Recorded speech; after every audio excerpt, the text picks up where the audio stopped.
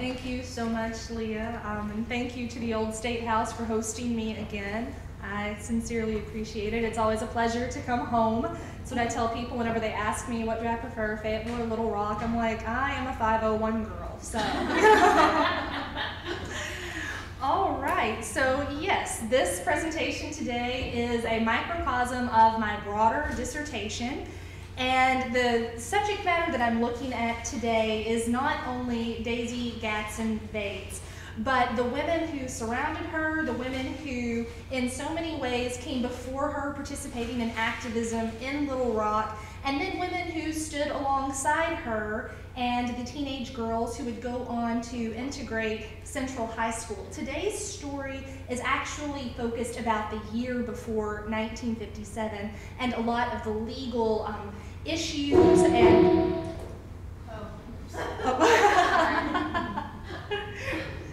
a lot of the legal issues and social issues that came before the actual crisis itself. So that is the reason for the title that you see today. Actually, can you go, can we pop out of this for just a minute so I can see? I'm Make not that- sure how to pop out of it. Let's see. There we go.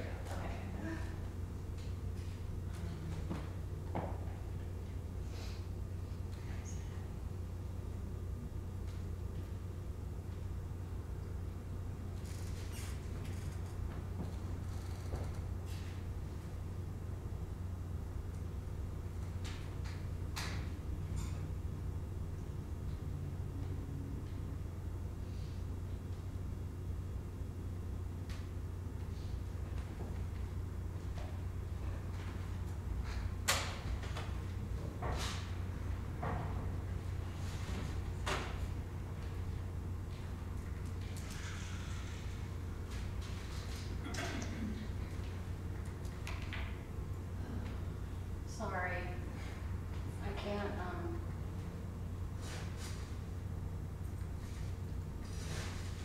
Where's the sound icon?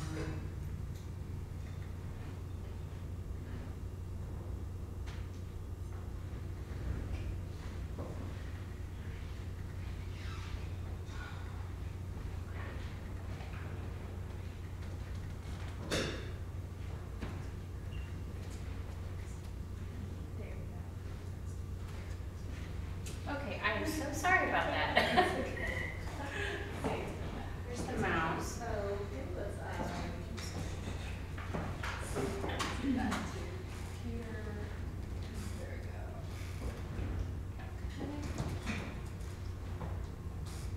Sorry about that.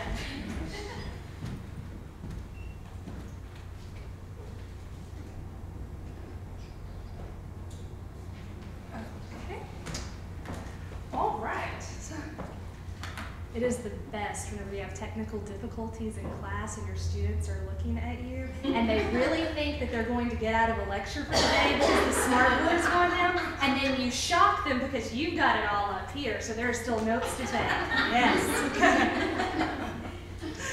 All right, so without further ado, um, what I like to do whenever I address how middle class black women attacked activism in Little Rock in 1956 is to back up and remind everybody what the essential crux of the entire crisis pivots on in the first place. And that is, of course, Brown versus Board of Education and the desegregation of America's public schools. And in Little Rock, we have to start with the essential figure who led the white resistance in that, who would be Virgil Blossom. And I realize it's a little bit interesting for people to hear me say that he led white resistance, and though he was absolutely the superintendent of the Little Rock School Board, though he said that he would comply with Brown versus Board of Education and its 1955 counterpart, Brown 2, that stated that public schools must desegregate with all deliberate speed, what we'll see is that he did drag his feet in some major ways, and that he wound up capitulating to white segregationists, which is why in my work I place him in that camp. But we have to understand who he is before we can definitively say, okay, this makes sense to place him in this camp. Virgil T. Blossom was no stranger to integration. He had actually been the superintendent and principal of Fayetteville High School whenever that school system integrated in 1954. So he was actually a veteran of desegregation efforts and a veteran of limited public backlash to this process in northwest Arkansas. He really believed that he would not have any significant trouble desegregating Little Rock in 1956 and 1957 because Little Rock was known as one of the most progressive cities in the South, one of the most liberal cities in the South, which of course you have to view those two words, progressive and liberal, through a white lens. Because absolutely that was not the way that the city was experienced by any African Americans living within Little Rock, no matter what their class status. And in fact, L.C. and Daisy Bates, who ran the Arkansas State Press, the state's largest black owned newspaper, frequently argued against this characterization of Little Rock as this progressive bastion. For white people, however, they really believed that because Little Rock had not experienced the issues of Birmingham or Montgomery or Charleston, South Carolina or Baton Rouge, Louisiana, that it was a cut above and that perhaps integration could go off without a hitch in Little Rock. Virgil Blossom's initial plan, which he hammered out with the assistance of white PTAs, black PTAs, and influence from the NAACP, of which Daisy Bates was president for the Arkansas chapter, was a plan initially to integrate elementary schools at the kindergarten level in 1956, and then to annually stay integrated through the 13-year process of K through 12 education, so that by the 1960s and 70s, all classes would be integrated, and integration would essentially be seamless. Children would have grown up with it, and White Little Rock would not experience the shocks of integration that some people feared it might. What we find, though, is that Virgil T. Blossom had a very poor understanding of what kind of city Little Rock was versus what kind of city, what kind of town Fayetteville was in 1954. Fayetteville was not a city. Fayetteville did not have a large black population of any size, and that was part of the reason that integration had gone off without a hitch in Fayetteville and without much public fanfare. He grossly underestimated what kind of social con conditions existed in Little Rock, and it turns out he was not very willing to, to challenge those in any effective way. Rock School Board ultimately rejected the plan that he had concocted with white and black PTAs and with the assistance of the NAACP.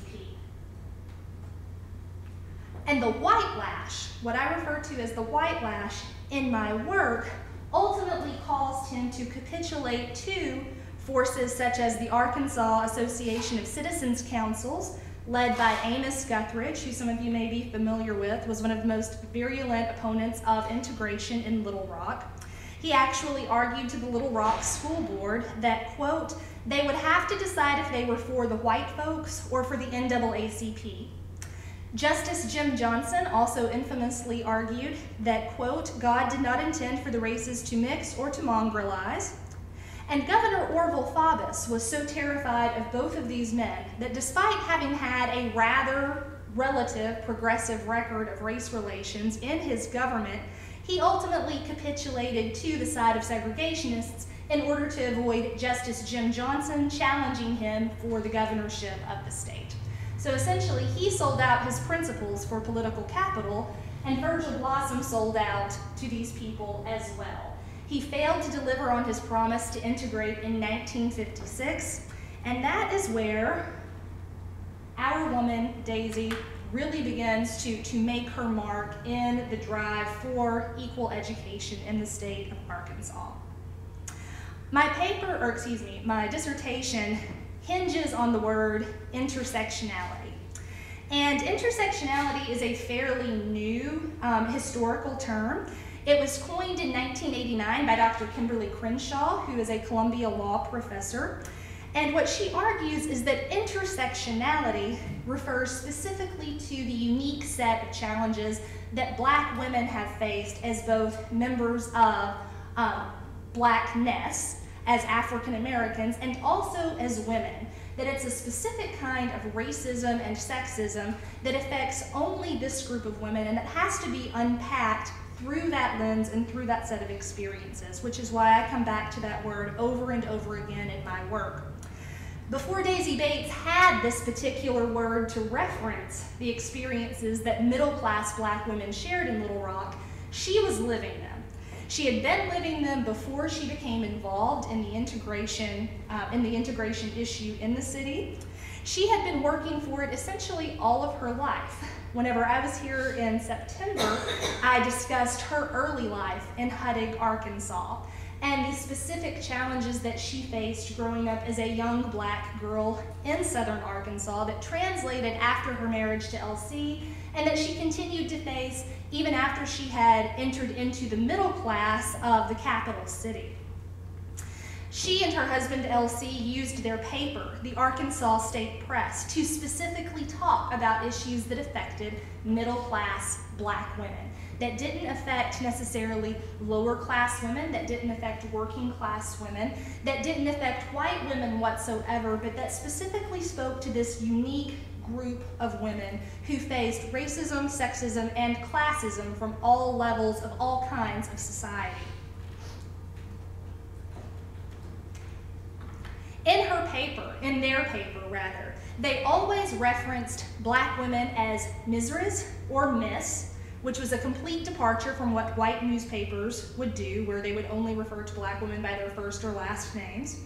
They consistently carried stories of black middle class excellence, and this was specifically centered on women. So, for young girls who had accomplished anything from belonging to the Beta Club to joining the band to singing to having a particular talent, the newspaper would focus on these young girls. For teenage girls and for young women in their early 20s, if you attended college, if you had any kind of prodigious talent that you could be recognized for, the Arkansas State Press would blow that up. And specifically for young engaged women or newlyweds, they love to showcase young black women from the middle class who were living as wives, mothers, in these positions of respectability that traditionally had been stripped from them by white society. They also repeatedly highlighted abuses of black women to showcase that these were women who were ladies in every sense of that word except for skin color, according to white society. They repeatedly highlighted abuses from law enforcement. They highlighted abuses from white civilians, usually from white employers who might either legally abuse a woman, economically abuse a woman, or sometimes sexually abuse a woman who was in their employ. They carried these stories to showcase how black women were mistreated in overall society in a way that was absent from virtually every other news source within the state. And these were not, the, Bateses were not the first people to do this. In 1942, Little Rock experienced a shockwave through the court case Morris versus Williams, etc., um, Sue, Sue Cowan Morris, who had been an African American educator here in the city, sued um, Little Rock for salary equitization, and she was supported by an army of female black educators within the city, including some relatives of the future Little Rock Nine. So Daisy Bates was not the first person to lead this charge for intersectional appreciation and for African American equity in the city. She was also not the only person in the region doing this kind of work. In cities as large and as far away as Dallas, Texas, there were committees to abolish discrimination um, against black women, against Negro women, as the official title is, women who were segregated in stores, even from black men, from having shopping rights within public places, women who couldn't receive their food in store fronts, even though black men could, these, com these committees were formed specifically to address the intersectional discrimination that Daisy Bates was concerned with primarily here in Little Rock. Arkansas also had statewide chapters devoted to combating intersectional discrimination for black women. The Arkansas Association of Colored Women's Clubs hosted a major symposium in 1955 specifically to look at these problems one of their keynote speakers Gwendolyn Floyd, who served as the regional coordinator for the National Council for Negro Women, argued that ultimately, quote, it was women's responsibility in an integrated society to complete the understanding of problems faced by the Negro woman.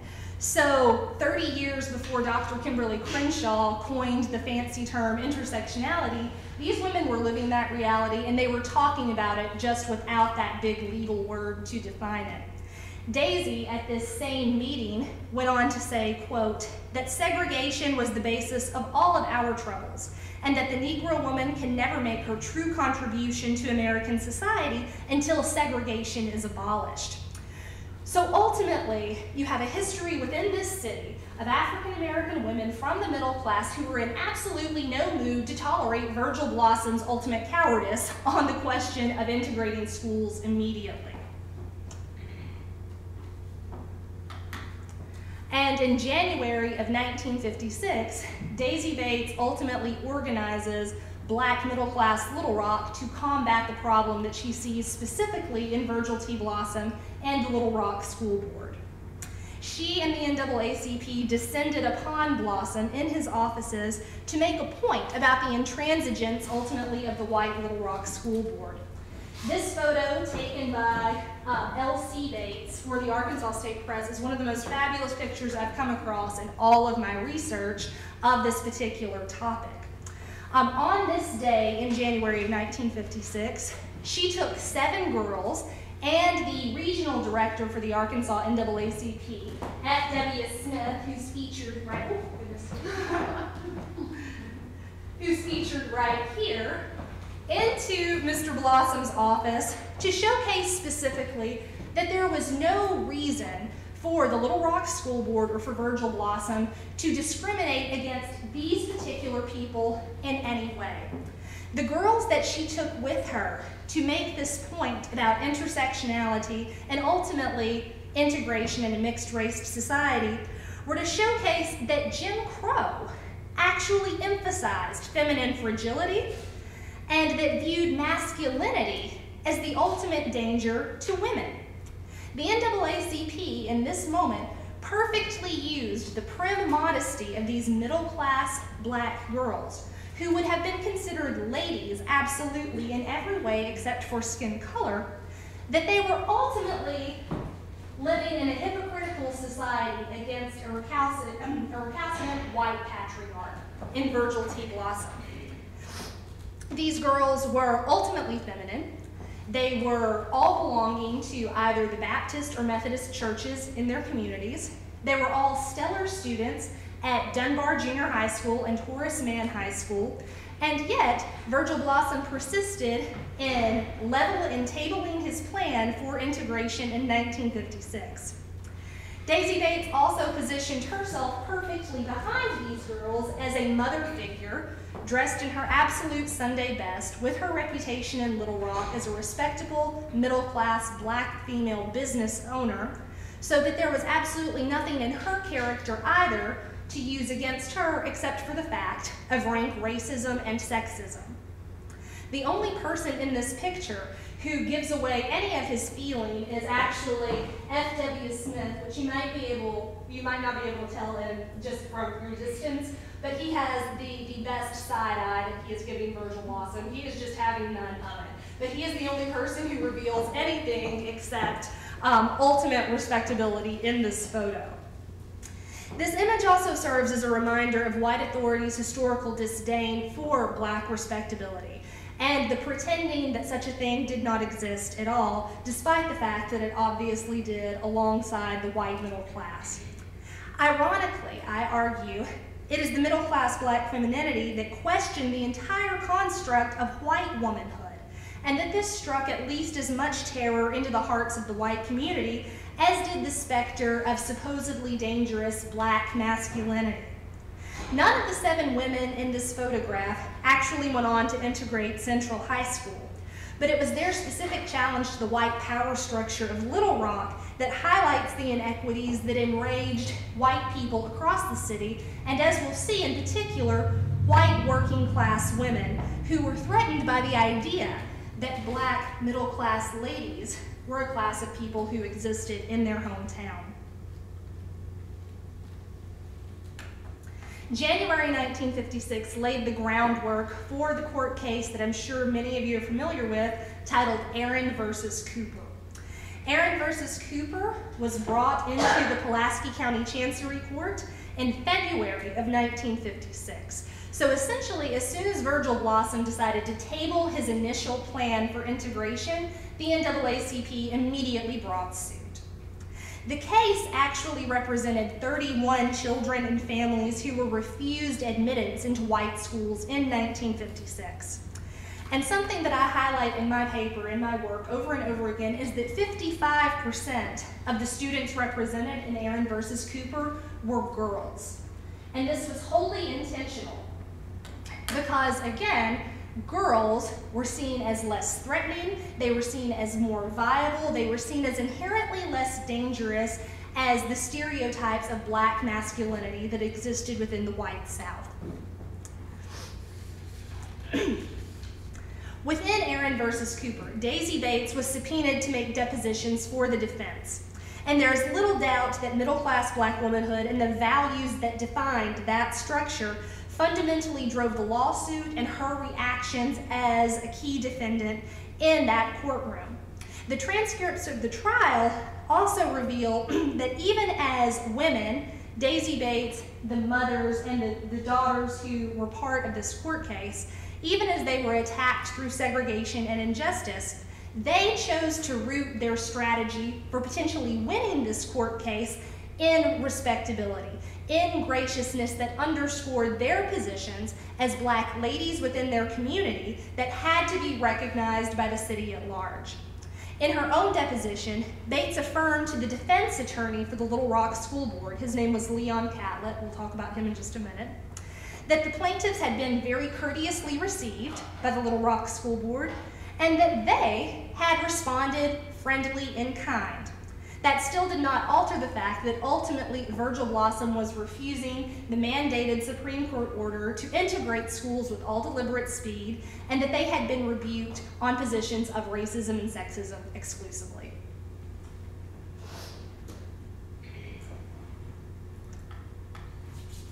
This is Leon Catlett, the defense attorney for the Little Rock School Board. And it is his interactions with Daisy Bates that led to one of the most famous showdowns of the entire crisis that often gets overshadowed in what happened in 1957. But you can see the fomenting of, of the backlash, of the blacklash and the whitelash that I refer to in, in my broader work here in this microcosm of Aaron versus Cooper. Bates, as a chief witness for the NAACP, used her platform effectively as the then most visible figure for the integration effort to challenge white supremacy and also to demand that middle class black ladies be treated with the privileges that white ladies were accordingly treated with.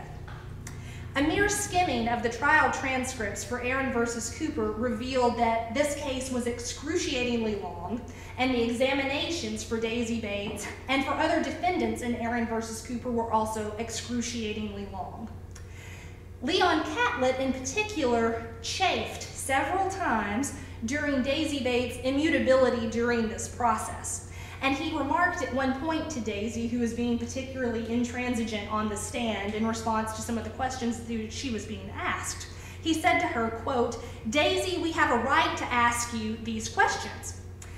And as Daisy Bates persisted that anything less than immediate desegregation suited the parents of these children or the NAACP or the Supreme Court, she would refuse to answer questions. Leon Catlett became visibly frustrated, and eventually he argued that black people in Little Rock essentially were intransigent, quote, Negroes, N-I-G-R-A-H, with a hard southern drawl. Daisy Bates immediately snapped back and said, Mr. Catlett, the word is pronounced Negro, not Negro. that was an immediate showstopper in that courtroom.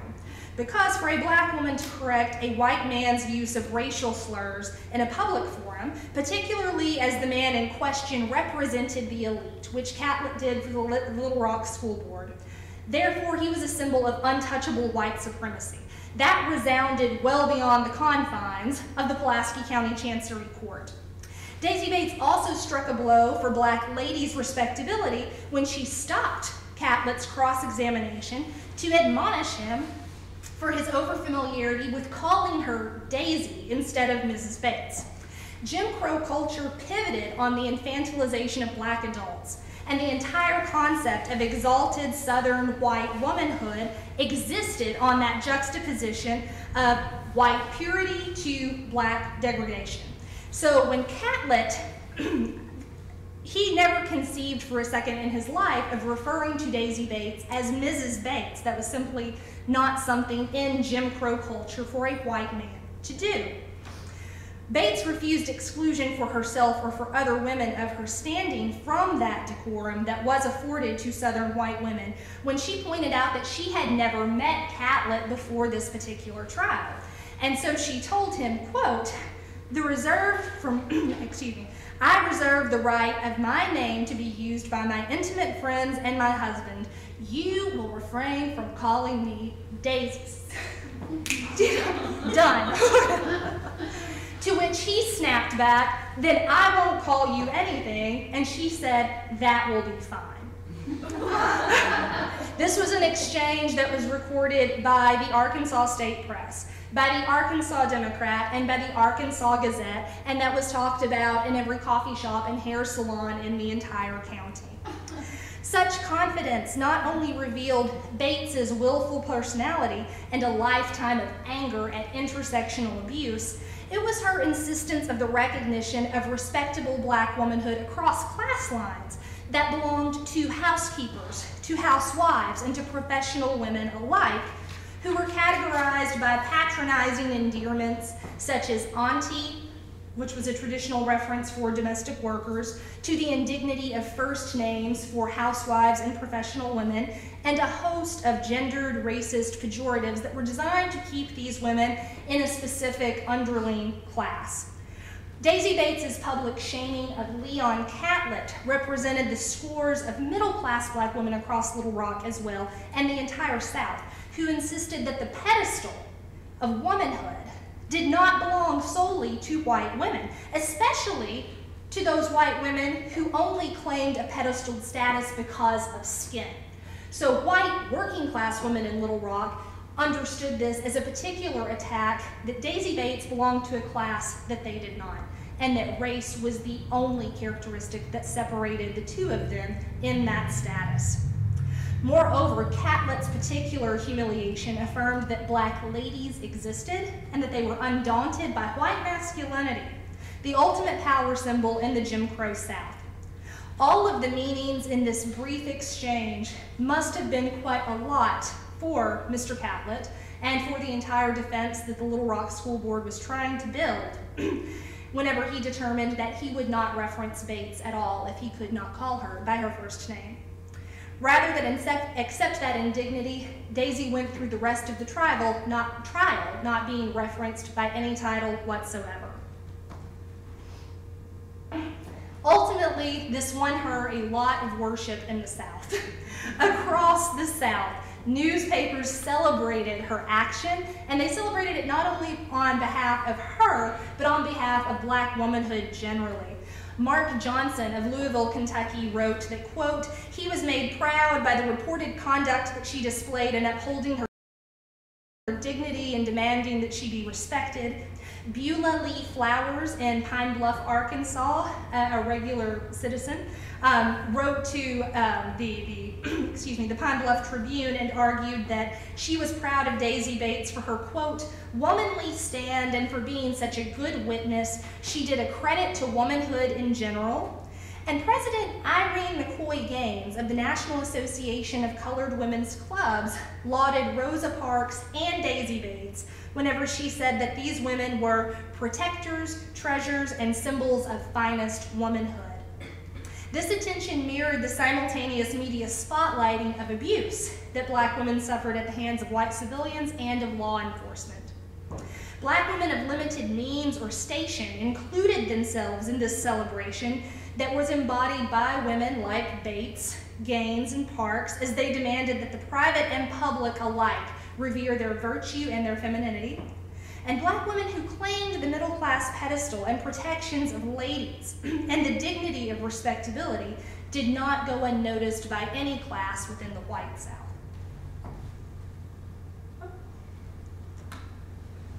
Ultimately, however, Aaron versus Cooper was a lost case.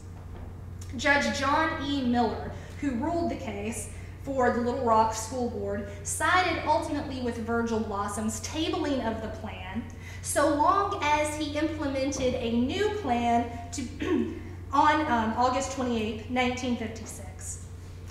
The NAACP ultimately lost Aaron versus Cooper because of a lack of communication between the state office and the national office for that organization.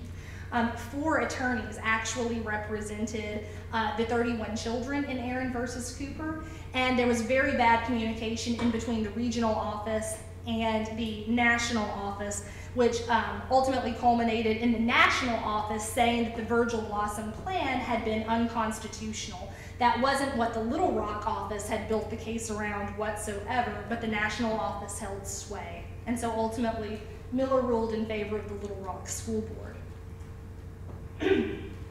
However, in the Eighth Circuit Court in Missouri in early 1957, it was ruled that Central High School would serve as the first integrated high school in the city in the fall of 1957. So a new version of the Blossom Plan would be carried out at the high school level. This program, however, was markedly different than the one initially agreed upon in 1956. For starters, it started out at the high school level, meaning that students had already grown up in, completely in segregated classrooms. There would be no easy integration for young minds and for young social bodies the way that there would have been at the kindergarten level, which was the heart of the original Blossom Plan. Also, no black teachers would be allowed to teach white high school students, as white students would not be admitted into Horace Mann High School. The single integrated school in the city would be Central. Transfers would also be allowed at Central High School meaning that white students would have the option of leaving Central High School to attend the newly built Hall High School in the Heights neighborhood or attending the school in Saline County if they did not want to continue going to Central High School after integration. The possibility of 200 black students in the Central High School zone frightened and terrified a lot of white families whose students would have been attending Central High School in the fall of 1957. And more than 100 students of the possible 200 had expressed interest in attending the school that year. So the new Blossom Plan had several parameters built around it already to exclude as many students as possible. Blossom is on record for saying, I know it is undemocratic and I know it is wrong, but I'm going to implement arbitrary conditions. He would only consider top academic students for admittance into Central. He also did a double interview of students who wanted to attend. And by double interview, I mean that students who were interested in attending Central High School had been interviewed by the principals from Dunbar Junior High and from Horace Mann already. Virgil Blossom insisted on a third interview so that nobody ever forgot that he was the person who was pulling all of the strings for admittance. And he ultimately decided that black students would be excluded from extracurricular activities if they were selected to attend Central High School at all. So their presence in the school would be minimalist. He also forced interviews with mothers and fathers. And this gives us a particularly telling bit of a telling piece of information about intersectionality as it existed in this city. Um, in most families in the 1950s, the father was the breadwinner, and particularly in the South, men tended to have higher paying jobs than women. So it was incumbent upon two parent households that a father always be at work, no matter whether the wife was a stay at home mother or if she had a job or not. The father was generally speaking the breadwinner. So this condition of Blossom's put black families in a really terrible position of a father having to take off a half day to a full day of labor so that he could go and interview on behalf of his child for a position of Central High School. This was also very uncommon as mothers were the principal guardians and caretakers of children, and that included their education. So essentially, what Virgil Blossom was doing with this condition was saying that he would not trust the input of black mothers solely, and particularly the middle class black women that he had already encountered in the court case Aaron versus Cooper. What I argue is that what he really didn't want to do was come up on a whole group of women who were very much like Daisy Bates. he, he has a remarkable quote about Daisy Bates in his memoir where he says, quote, she was not a woman about whom others were indifferent, end quote. And that is about the best characterization I've ever heard of this lady, ever. um, she refused to be cowed by white patriarchy. So did the mothers who wanted their children to integrate Central High School. They were self assured, they were self possessed, they were confident, they were middle class, and they demanded to be treated with the respect according to white ladies in the community. Blossom understood this intimately. He spent what I argue is an inordinate subconscious amount of time considering black womanhood. He understood at a subconscious level that whites feared black male sexuality, but he also understood at a subconscious level that black womanhood was made to be the inverse of white womanhood. And the reason that I keep using the word subconscious is because I don't think that Virgil Blossom ever could have broken this conversation down in a sociological way. It was simply the culture in which he lived. But we have 50 years on to look back and see the mechanisms that created it. And so that is the reason that I use the word subconscious in my work.